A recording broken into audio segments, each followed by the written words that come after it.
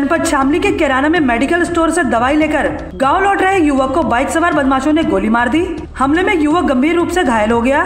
घायल की हालत चिंताजनक बताई जा रही है। पुलिस हमलावरों की तलाश कर रही है। आपको बता दें कि जनपद शामली के कस्बा किराना क्षेत्र के ग्राम अकबरपुर सुनहटी निवासी सरवर, उनतीस वर्ष, पुत्र मेहंदी हसन, गाँव में ही डॉक्टरी पेशे ऐसी जुड़ी दुकान करता था, जो मंगलवार देर रात नगर के बाज़ार में स्थित मेडिकल स्टोर ऐसी दवाई लेकर बाइक द्वारा अपने गाँव लौट रहा था। बताया जा रहा है की जब वह मलकपुर खुरगान मार्ग पर गदराऊ मोड़ के निकट पहुँचा तभी से दो बाइकों पर सवार बदमाशों ने उसे ओवरटेक करते हुए ताबड़तोड़ गोलियाँ बरसा दी, जिसमें गोली उसके सीने में जा लगी और युवक लहूलुहान होकर सड़क पर गिर पड़ा।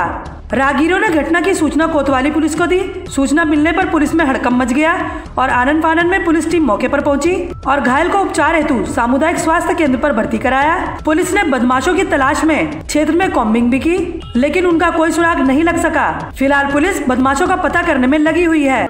आप जो लाए हो ये घायल है कहाँ से लाए सर? हम फुरकान चौराहे पर खड़े थे। तो हमें बताया कि ऐसे ऐसे एक आदमी पड़ा है। हम तुरंत दो सेकंड में वहाँ पहुँचे उसे उठा करके लेकर के यहाँ अस्पताल के लिए आ गए। इसे समय अस्पताल में मौजूद हूँ। पर जी जी। प्रथम दृष्टया क्या लगता है आपको क्या कैसे घायल है ये तो मैंने आकर के यही पता चला कि इसके गोली लगी है। जी जी। बाकी तो हम क्या कह सकते हैं? वो तो बाकी डॉक्टर साहब बताएँगे जो भी कुछ है। इसमें तो हम कुछ कह नहीं सकते। बाकी अब इसे जाने दीजिएगा मैं इसे अस्पताल लेके जा रहा हूँ।